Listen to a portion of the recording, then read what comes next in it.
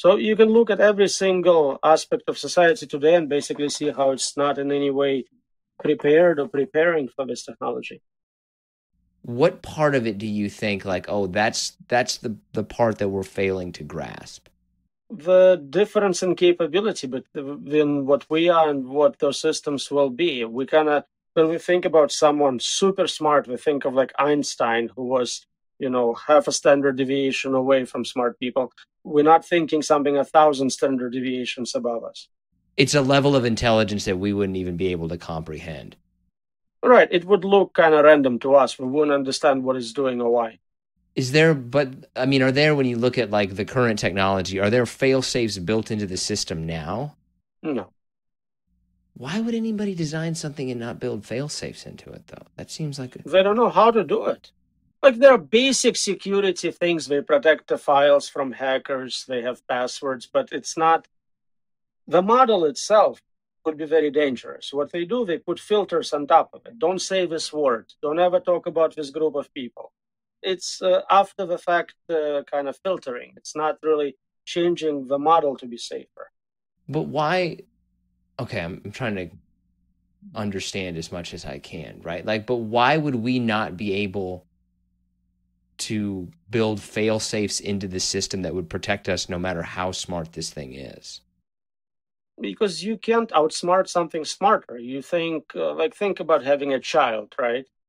You can definitely control a small child. You can lock them. You can do all sorts of things where they can't figure out how to unlock the door. But it's not the other way around. Dumber things cannot control much smarter things indefinitely. Do you think that we're kind of ready for this as a society no. What part, like if we, you know, we talk about, okay, so if we're not ready for this as a society, where do you think that we're kind of not ready for it?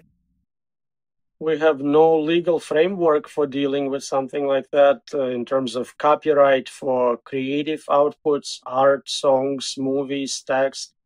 We have no responsibility for crimes committed or for patents granted we don't really have economic safety net. If this thing automates majority of jobs it's not obvious how uh, how we're going to pay for people who lost their jobs.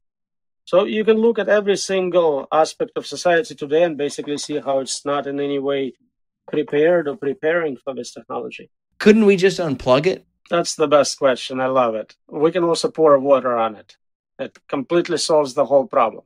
No, uh, if a system is smarter than you, it will kind of anticipate you doing things like that and stop you from doing that. It's the HAL thing, right? From 2000. Think of like something like a computer virus. Sometimes people get those. Can you turn it off? Can you just, I don't like having computer viruses. Let me turn it off. How would that work? As, as someone who has had a computer virus on his computer, like it doesn't work very well. It doesn't do it. Right. And this is a dumb thing with no intelligence. This would be smarter than you. Following up on that, right? Do you think that the people who are in charge, and I'm putting air quotes up there, right? The people who are making the decisions, so to speak, have we really thought out like the the consequences of this? What's ultimately going to happen? Or are we kind of just like, we made this new toy, let's use it?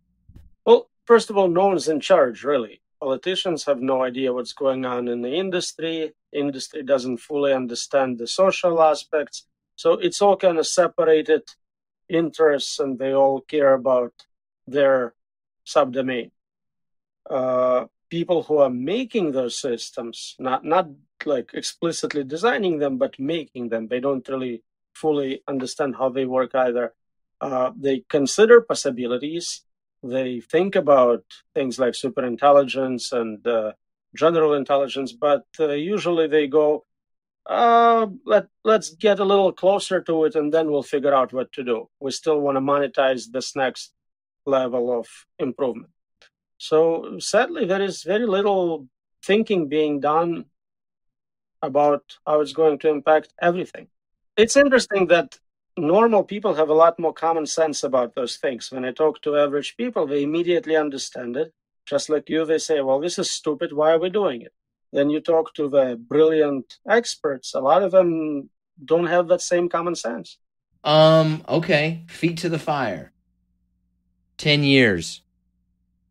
Where are we? not sure. Maybe some sort of virtual environment, but could be virtual heaven, could be virtual hell.